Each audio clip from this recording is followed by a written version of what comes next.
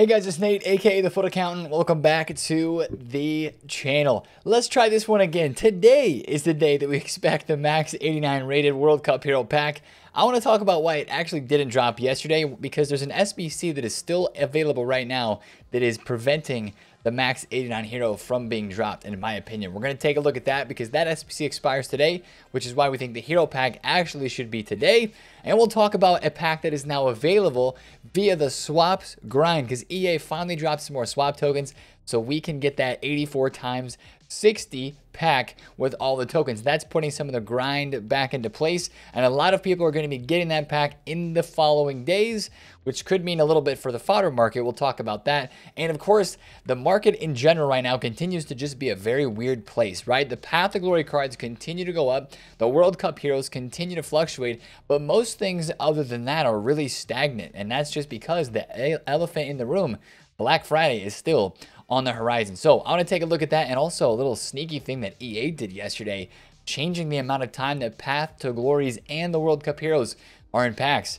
Very sneaky. Not a big fan. But we'll take a look at all that more in today's video. If you're excited for it, hit the thumbs up, subscribe if you're new. Now let's talk about this hero pack because we were all set on it dropping yesterday and it didn't drop. Instead, we had the 86 plus Team of the Week upgrade, which was added to the code at the exact same time as the hero pack was. Now, there's a reason why we didn't get the hero pack yesterday, and I noticed it yesterday right around the content time, and it clicked. The reason why we didn't get that pack yesterday is because we still have the base icon upgrade available out for 15 hours, and right, we've never had any of these big upgrade packs coincide together on the game this year. They've either been out once at a time, then the one expires, and then the next one comes in. So I think that, of course, especially since we had the 86 team of the week yesterday, we're going to have this SBC expiring, and then the 89 max hero that everybody's still looking forward to is going to drop on the game today. So we should see some hype and some movement still around the hero cards today. Now, the hero cards, as they sit on the market, I'll talk about fodder in a second as well, but the hero cards, as they sit, a lot of them had a couple fluctuations up yesterday. Like the biggest fluctuation was Al-Owairan. He went from 640k up to 700,000 coins when the pack was not released and it was not on the game. Right now he's back to 660, but there could be a little bit more sell off on some of the heroes today because I think people are now expecting it to be today. And it's if it's not today, then then EA's got something crazy up their sleeve and they've got something else planned and they're trying to do make the market move in a weird way at some later point this week or something. But it just would make sense for the SBC to drop today as well if you think about it. Thursday, Friday, pre-Black Friday and the Black Friday promo. EA, just like they did before the World Cup promo, could take this opportunity to try to drain some coins before they get you to open packs this weekend, right? That's the way they're going to think through it. And that's why I think, again, if that SBC doesn't drop today, I'll be shocked. But hey, who knows? It's EA. They've been doing some EA things recently with the content, so we'll just have to see. But the hero cards are just kind of chilling. I'd be careful with those today. Honestly, with the way that the market is right now, right? I said it's kind of like the elephant in the room is that Black Friday is still on the horizon. And every day that we get closer to Black Friday, I can't believe that less and less people are talking about Black Friday. Like I have not seen a lot of panic or people like worried about it. I mean, yes, there it's in our mind, but like at this point, usually with Black Friday, that's all we've been talking about for like the past two weeks. But this year, with the World Cup going on, it's kind of overshadowing that whole situation. We've already had a big market crash, so it's kind of like, all right, now we're just waiting for what to, uh, what we're going to see is going to come out because in theory, it's a way different Black Friday than ever. So that's still impacting the market, which is why I'm being very careful with what I trade with. And still, I think that if you're in this market right now and you have gold cards, I don't like golds. I really don't. Again, this Black Friday promo is all about supply. So as you see, Mbappe is still in his low range, still, fluctuating a bit, but kind of low. Uh, Neymar still under 300,000 coins. Van Dijk 140 you know, Messi 110k. I would just be careful with these guys, really. Like, I would not hold any of these cards that are still gold cards that are not fodder. Um, I, I, wouldn't hold any of them, honestly, especially a gold Kyle Walker that's going to be coming back into packs this weekend uh, or this Thursday, right? I would take the cash on a lot of gold cards uh, and then look for a lower entry point probably on Thursday night, Friday morning. We'll keep a close eye on that situation, especially for a guy like Mbappe or maybe Neymar, who is still a very meta gold card that people might want for their teams. Now let's talk fodder because fodder is going to get supplied a lot this weekend as well. But even before that, today on Tuesday, with the icon, sorry, with the uh, World Cup Hero Pack coming back, fodder is still kind of up. Yesterday, when we didn't actually see the pack drop, I think fodder had a quick dip. Um, like there was a little bit of a dip on fodder, but then it kind of rose right back up as people bought back in. I would say this whatever pack drops today, or whatever the price of the pack is when it drops today, um, I would look to get your fodder out by Friday. And honestly, yeah, definitely by Friday. Maybe Thursday after awards, you could see a bit of an uptick in fodder if uh, people are getting their rivals rewards, going out and doing the um, Max 89 World Cup Hero SBC after it drops today. So I would say there's a potential for that. But by the time we get to Friday, it's the closer that we get, I think people are going to start to sell off these cards, expecting big supply with lightning rounds, with packs, flash SBCs. So with that in mind, I would probably try to get out of the fodder that you um, invested in in the next couple of days. Not saying you have to sell it today, right when the SBC comes out, because again, I still I still say and I still think that if they make this SBC a little bit too expensive today, fodder might not go up because it is very invested in. A lot of people have, are investing in this fodder and hoping that it will go up. But again, like I said, we just need a really good value pack, which EA could drop but uh, that would not make fodder all of it go up if it's a really good value, right? It's only going to make it go up in specific areas depending on what they require. So that's what I would say. Just be very, very careful with the fodder in the current state of this market. Now, we talked about the market a little bit. We're going to talk about it a little bit more specifically with the PTG cards. But first, what I want to look at is a part of yesterday's content that EA dropped via objectives is the week two of the World Cup swaps, which was a fat W because we now have 26 tokens. 26 swap tokens are now available. And if you want to see a tracker, I'll link this tracker down below in the description of the video so that you can see where each and every single one of these trackers are at or these cards are at. But there are now 26 tokens that are available to uh, get in the game which is nice, right? Especially since we had so many drops right away, and then they gave us four on Friday, which we were a little bit disappointed with. Now we have the ability to get up to 26, and technically, what that means is all but just of a few of the swap rewards are attainable now, uh, which is actually a big dub. You can even right now, if you have all your tokens, you can get up to 25 and get that FIFA World Cup Path to Glory, or sorry, that's the hero player pick. The World Cup hero player pick at 25 tokens. If you grinded all of them right now, uh, there's even one extra. You could get this player pick, but of course, the big pack that like so many people are excited about is this one, the 84 times 20 times 3 or the 84 times 60. Now, I have not opened any of these yet. I'm sure we'll get to opening some soon. I'm still working through getting my tokens. This is one of the things that I'm going to be opening, but people are going to start to get this. They're going to start to open this pack because the tokens are going to be you know, collected over the next day or two as we get further into the week. And fodder is pretty expensive, so this pack for a lot of people right now, especially having Path to Glories still in packs, and especially having the World Cup Heroes in packs at the same time, which EA extended those items in packs. We'll talk about that in a second. Um, I think a lot of people are going to open those 84 times 20 times threes. And you know maybe maybe they'll open one maybe they'll save the other two. I, I, like that there's three in there right? That's the draw to this pack in the first place. But just the fact that ea dropped those objectives that we can go out and grind is so nice because that gives a little bit more grindability to the menus. If you were you know way ahead you know now that, that maybe even if you weren't ahead if you were like me where you just didn't have a ton of motivation to do swaps because there weren't that many tokens out or you know i don't know whatever struggling with motivation whatever now that kind of motivation helps that you know you can attain that pack and that it's there. And anytime you get the tokens you can go and claim it and get it. So i think that helps a bit of the menu grind. Uh, so again i'll put that link down below in the description so you can check that out. But I think that over this next weekend, and even with the Max 89 Hero Pack coming today, I still think that that SBC could be a little bit overvalued just because EA know that a lot of people have the potential to get fodder from that big pack. And then the 80 plus double upgrade that they dropped, guys, I think this is a solid SBC. And again, you could say, and this has helped this has helped me out, right? I did maybe like, I don't know, five to seven of these yesterday, picked up a couple of walkouts, a couple other 84s, 85s from this. It's not a bad value SBC for an upgrade pack because it gives you two players, right? And you only need nine not you need nine golds, eight non-rares, one rare. So you know, it's really not that bad a value for an 80 plus double. You can pack the World Cup heroes out of this. It's a that's a W. Um, and and you know maybe build a few of these to save for the next upcoming promo and all the craziness that we have to come. Just like the, the previous weeks, it's only available uh, for another day, 15 hours. So it's only available until Wednesday, which is a bit of a bummer. But you know, I think there'll be something that'll be pretty good to stack up on and to get into do and save for the next week's promo or just to try to get some fodder right now to craft that hero pack or any other SBCs that you're working on. Now, speaking of stuff that is in packs, once again, EA did something sneaky yesterday and they even tweeted about it right after we found out first on the stream. We loaded in and we saw this timer on the bottom changed.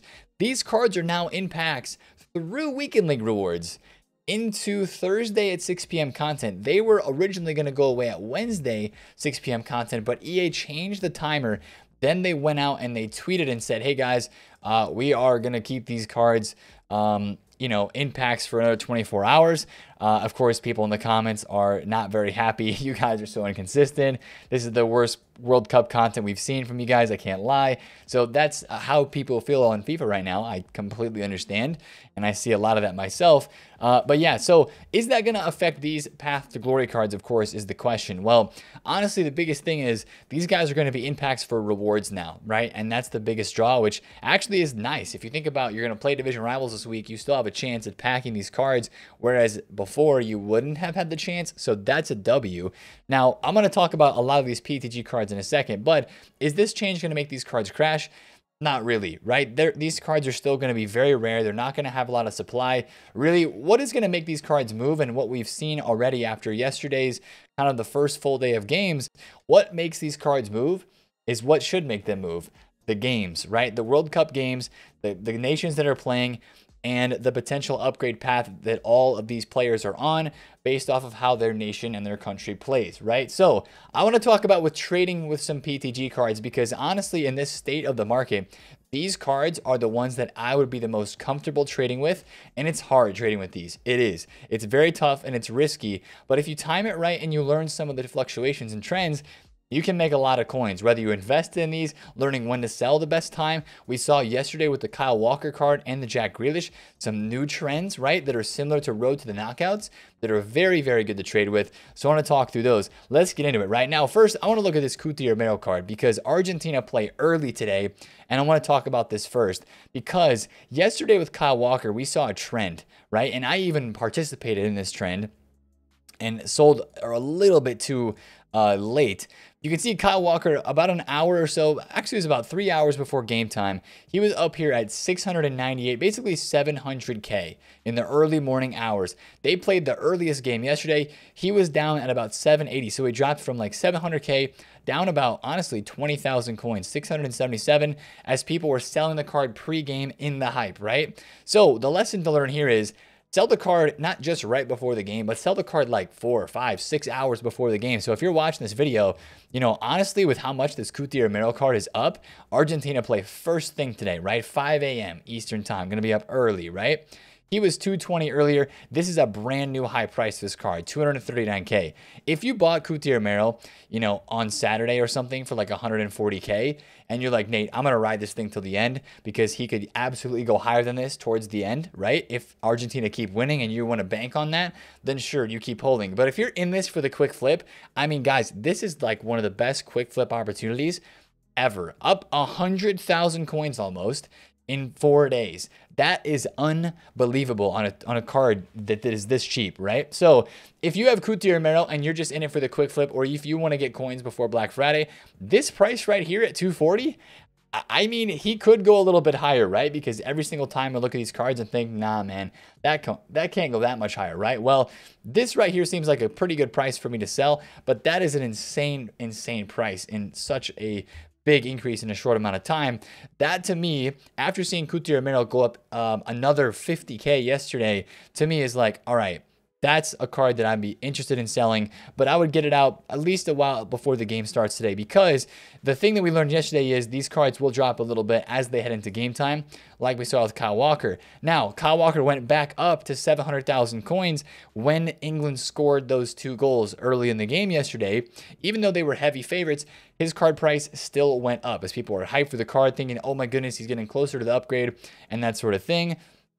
So that could be if you think Argentina is going to score first today, maybe this would work a little bit better with Gomez because he's a more rare card. But, you know, maybe you don't sell in the, a couple hours before the game. You wait until they score if you want to risk it and then sell there. But then after the game, this is another trend that I want to talk about. Kyle Walker after the game went from 700K down to 660 and it probably timed out pretty well too that that time frame was like their game was ending a couple hours uh, before content. So Kyle Walker went from 700 all the way down to 650, and look where he is now, all the way back to 700,000 coins because they won the game. They're progressing and getting closer towards the upgrade. That's the next trend I want to show you. It's even more drastic with Grealish, right? This is absolutely a way that you can trade with these cards today, every single day throughout this week on this game because they're so hyped for the upgrades. If the team of the card wins, right? England won yesterday. Grealish, I got to show you this graph, right? Because Grealish is 180,000 coins right now. Absolutely nuts, right? 183K. Yesterday, Grealish pregame was 143. People sold him down before the game to 130. England scored, uh, and then he kind of actually like England scored in here, and he went down and stayed around 130 to 140 after the game. And then, of course, shot up. As you can see now, He he's 180,000 coins. Since he is getting closer to that upgrade, and it seems almost guaranteed now since they're on three points, right? Especially since they won the first game. They were expected to win the group anyways, or be in uh, advancing from the group. This card continues to rise. Same thing with Kyle Walker. Uh, these cards usually drop post game for like an hour or so. And if the drop is big enough, it is absolutely something you can look into to trade with. So, like, example again today, let's say with our game between Argentina and Saudi Arabia, right? Let's say that Papu Gomez drops off post game. He goes up, he goes down. You know, that's a very rare card and a very popular card. Same thing with Cuti Romero. You're going to have an opportunity to maybe buy those guys in a dip after the game, an hour or two hours afterwards, and then sell them later on in the future, maybe in a day or so after uh, people go out and try that card or they buy it and invest it again because they're like, oh my goodness, they're this much closer to getting the upgrade. So that's a big trend that we saw with those cards right there. Now, of course, the flip side of the coin, a team does not perform as well as you would have liked them to, like USA, right? USA was winning. This Pulisic card went up.